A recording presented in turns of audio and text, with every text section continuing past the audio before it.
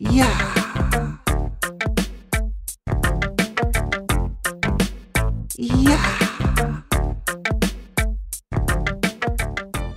I, I think like if you if you were to put a formula together for success, like success mindset, wealth creation, happiness in life, the formula is simple. It, it's C greater than E. It's three letters, almost like as genius as Einstein's E equals MC squared. But C stands for cause. Greater than means cause is greater than effect.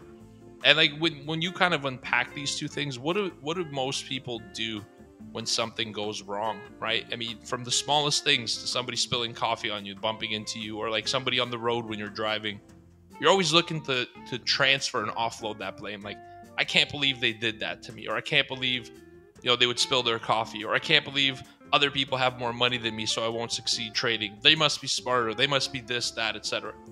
And Yeah. when you're living in effect, you're ultimately losing your power because if you're not responsible for what's happening, how are you ever going to change it?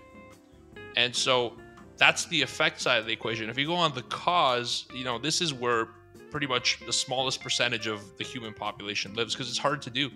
Is the one question you always ask yourself when you live a cause, no matter what happens in your life, anything you like or dislike, anything that happens to you, stop and ask yourself, how am I a cause for this? And really, your mind goes naturally to solution focus. It, it says, hey, you know, this is how you, this generated, this is what you did, therefore this happened. Now you're thinking, oh, well, what could I change to improve my circumstances? You're always solution focused.